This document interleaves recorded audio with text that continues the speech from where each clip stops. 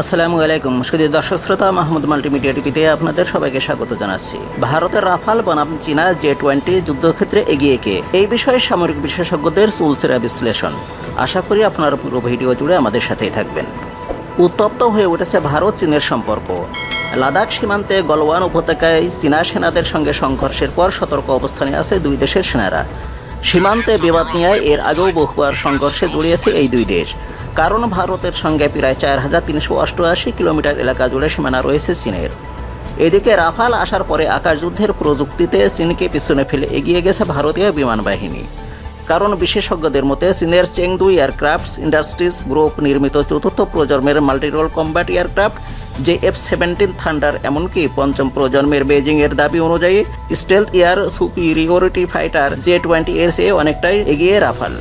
চীনের পাশাপাশি পাকিস্তান, মিয়ানমার এবং নাইজেরিয়ার বিমান বাহিনী যে এফ সেভেন্টিন থান্ডার ব্যবহার করে।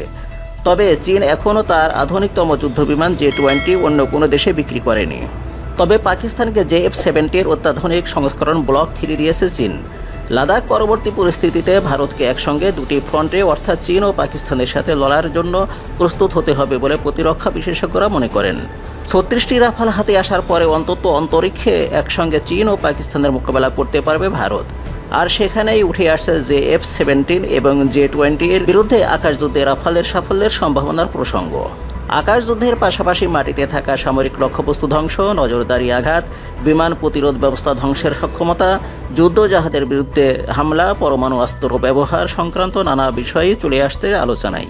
চীন তার জে টোয়েন্টিকে সম্পূর্ণ স্টেল রাডার নজরদারি ফাঁকি দিতে সক্ষম বলে দাবি করলেও মার্কিন ও ইউরোপীয় বিশেষজ্ঞদের অধিকাংশেরই এ বিষয়ে সংশয় রয়েছে। রাফাল এবং জে এফ সেভেন্টিন এক কিংবা দু আসন বিশিষ্ট হতে পারে। চুক্তি অনুযায়ী ফ্রান্স থেকে ভারত আঠাশটি এক আসনের এবং আটটি দু আসনের রাফাল পাবে।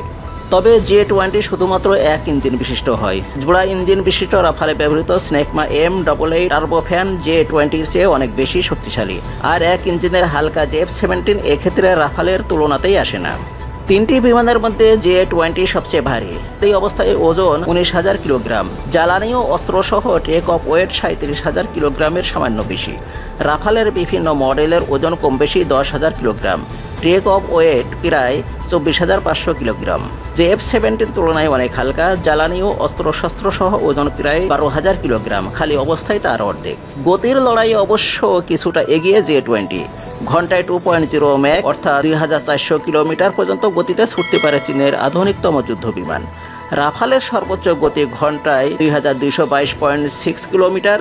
আর এক্ষেত্রে তৃতীয় স্থানে থাকা যে এফ সেভেন্টির সর্বোচ্চ গতি উনিশশো পঁচাত্তর পয়েন্ট আটষট্টি কিলোমিটার।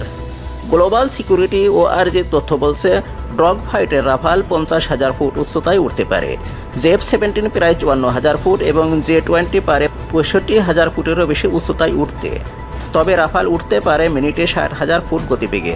জে টোয়েন্টি মিনিটে উনপঞ্চাশ হাজার আটশো বিয়াল্লিশ ফুট এবং জে এফ সেভেন্টিন মিনিটে উনষাট হাজার ফুট গতিবেগে। আপাতত দৃষ্টিতে পার্থক্য সামান্য হলেও আকাশযুদ্ধের সময় তা নির্ণায়ক হয়ে উঠতে পারে নিমিষে। দর্শক ভিডিওটি কেমন লাগল আশা করি কমেন্টের মাধ্যমে জানাবেন। আরও নতুন নতুন ভিডিও পেতে চ্যানেলটিকে সাবস্ক্রাইব করে আমাদের সাথে থাকুন। আল্লাহ হাফেজ।